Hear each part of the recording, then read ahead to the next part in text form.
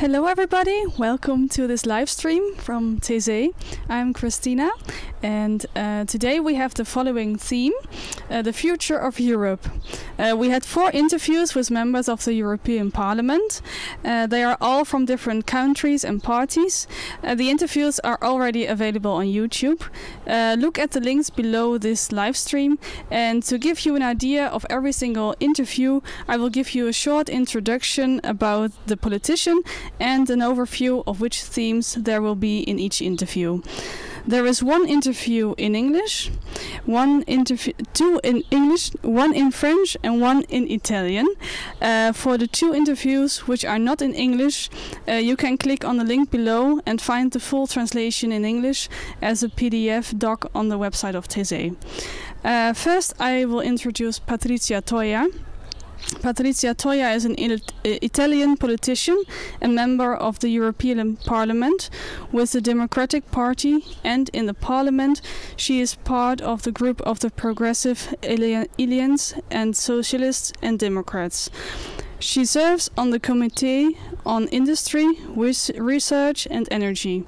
In this capacity, she is a Parliament reporter on the introduction of the 5G. Since this year, she has been part of the Parliament's delegation to the Conference on the Future of Europe. She is participating in a big variety of Parliament groups. One of them is the European Parliament Intergroup on Extreme Poverty and Human Rights. In this interview, there will be the following sub-themes. The gender representation and positions in political roles in the minimum standard of living in the relationship to fight against poverty. The financial help for the EU EU citizens, the debts of the European countries, and the use of market forces and privatization in healthcare. The last question we ask her is about the visit of Pope Francis to the Parliament in Strasbourg. Uh, she is interviewed by Magda from Poland, Severin from the Netherlands, and by me, I'm Christina. And yeah, you will see now the trailer of the interview. Let's start with the first question. Um, what do you propose to improve gender representation in political roles and positions? La promozione della donna nella politica, come in tutti i campi, ormai è un punto, una priorità per tutti e per l'Europa è una priorità molto forte da tanto tempo. Eh? Sempre l'Europa ha creduto nella parità eh, di genere. L'Europa ha fatto molte cose che io ho supportato, sia sul piano anche di indicazioni legislative. Per esempio, è grazie al concetto delle azioni positive in Europa che gli Stati membri hanno fatto delle leggi, per esempio per dire che nelle liste elettorali un uomo, una donna, una preferenza un uomo, una preferenza una donna. Quindi l'Europa ha fatto molto per indicare anche una strada legislativa, ma ha fatto molto anche sotto il profilo culturale e dei progetti anche di azione contro la violenza, per esempio per le donne, per la parità salariale. Thank you very much. Now, Severin.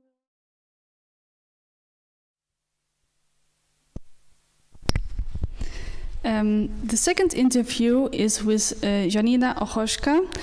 Uh, Janina Ochojska is a Pol Polish astronomer, humanitarian, and social activist who serves as a member of the European Parliament for the Civic Platform since 20, 2019 in the Christian Democratic Group in the Parliament. In 1989, she was one of the founders of the Polish branch branch of the Equilibre Foundation. She is founder and president of the Polish Humanitarian Action since 1992 and organized the first humanitarian aid convoy to Sarajevo. She is also the winner of many prestigious awards. Two of them are the Woman of Europe in 1994, and in 2011, the President of the Republic of Poland awarded her the Commander's Cross of the Order of Pol Polonia Restituta. In this interview, there will be the following sub-themes.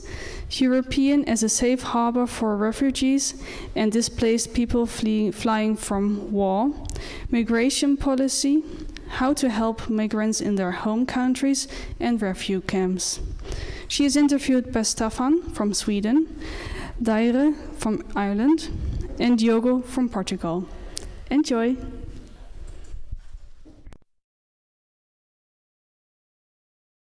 Your thoughts about the EU being a safe harbor for refugees and uh, uh, displaced people fleeing from war? Yes. Um, so I believe that uh, Europe now is not a safe harbor for people who are forced uh, to leave their country due to the conflicts or persecution. Today, the borders of the Union are being closed. The Schengen zone is becoming more and more theoretical. Uh, border guards and the police are returning to their former posts under the pretext of migratory pressure and the terrorist threat. I don't know what is left uh, of European ideas, of the promises to build the, uh, a continent that is both strong, united, and fraternal. The third interview is with Philippe Lamberts. Philippe Lamberts is a Belgian politician who has served as a member of the European Parliament for the Ecolo Party since 2009. He has been leading the Greens European Free Alliance since 2014. He is member of the European, European Parliament's Committee, Committee on Economic and Monetary Affairs, the ECON, and the Committee on Industry, Research and Energy, the ITRE. He is often coming to Taizé and giving workshops. One of them will be in a few days in the Reflection Week for 18 till 35 years old. In this interview, there will be the following sub-themes, the Green Deal and the support of poor people, the investment of money in the uh, Brexit, and the transition of the workers in coal and steel. He is interviewed by Balint from Hungary, Emilija from Lithuania, and from Magda from Poland. Enjoy the video. I have the fear that in like among the poorer people, this kind of uh, extra cost or the price of, of being green uh, won't be uh, popular. Well, that's, uh, that goes to the, to the heart of the, the green transformation that we need to undertake. So the first thing I'd like to say uh, we have to do it. It's a matter of survival. Uh, if we do not make our societies fit within the planetary boundaries, that is the limits within which human life can exist on Earth, we will simply not be there. So, uh, well, life uh, has a price, and therefore we have to decide whether we want uh, to keep living on this planet. Now, it is true that doing stuff in a clean way, environmentally, or in a socially just way is more expensive than doing stuff in a dirty way or in an unjust way. I mean, if it were the opposite, the whole economy would go just and clean, but the whole economy goes dirty and unjust because, well, it's more profitable and, and therefore more expensive, uh, less expensive. So there, there will be a price to pay, obviously. If we want to preserve this planet, it doesn't come for free. The last interview is with Nathalie Loiseau. Nathalie Loiseau is a French politician, diplomat, and academic administrator who has served as a member of the European Parliament since 2019 in the group called Renew Europe Liberals. She chairs the subcommittee on defense security. She, always, she also works in the committee on Rif, foreign affairs, in the committee on civil liberties, and in the special committee on interference in democratic processes. Before that, she was Minister of European Affairs in France, and she was for many years a di diplomat in French diplomacy, and then also director of the National School of Administration, the ENA. In this interview, there will be the last sub-themes are the role the, U, the AU has to play in the democratic foundations, in particular in the freedom of the press or the rule of law, migration and security of the European borders, Frontex agency, human rights on economic and political level, and projects for making people aware of the urgency uh, of environmental challenges. She is interviewed by Dorothee from the Netherlands, Estibaliz from Spain, Lucie and Joseph from France. Enjoy the video.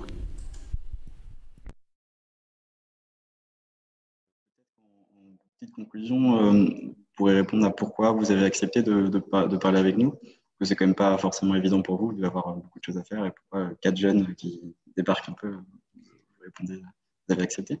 Alors, d'abord parce que euh, tout ce qu'on fait au Parlement européen est destiné à votre génération. On travaille, on prépare l'avenir. Euh, et moi, je suis entrée en politique pour pouvoir regarder mes enfants en face et la génération de mes enfants en face. Donc, euh, c'est assez intuitif de parler d'abord et surtout aux jeunes. Ensuite, parce que des jeunes qui prennent le temps de la réflexion, et qui prennent le temps de l'élévation, bah, c'est une forme de jalousie. Hein, si je pouvais en faire autant, ça serait bien. Euh, j'essaye de le faire, même si c'est très difficile quand on est euh, dans l'action politique quotidienne. C'est la nuit qu'on se réveille en, réfléchissant et on réfléchit jamais bien la nuit euh, sur qu'est-ce qu'il faut faire, comment il faut le faire. Donc moi, c'est un échange, ça me nourrit autant que, que j'espère ça a pu vous intéresser. Puis je crois pas du tout à la théorie du ruissellement euh, en matière économique, mais beaucoup euh, à la théorie du ruissellement des idées. Donc, euh, je vais essayer de répondre à votre curiosité, et puis moi de me nourrir de vos questions et de vos réflexions. Et puis, bon été de réflexion et puis de détente aussi. Merci beaucoup. Merci. Au revoir. Au revoir. We hope you enjoyed all the videos. The um, whole video is uh, available on YouTube, and we thank all the uh, young people who participated in the videos, and uh, to all the politicians. We uh, want to thank you so much for your time and um, all the yeah for great answers. And I hope everybody will enjoy the videos. Um, next workshop uh, is on uh, Saturday, the 28th of August, with Magda Katsiak from the Laudato Si movement, and um, on how does faith lead us to ecological action. And it's possible to send the questions in advance. You go to www.taize.fr uh, slash workshops. And um, yeah, tonight there will be uh, the live stream uh, from Taizé, uh, from the church, and yeah, with a special night. So uh, we hope to see you then. Bye.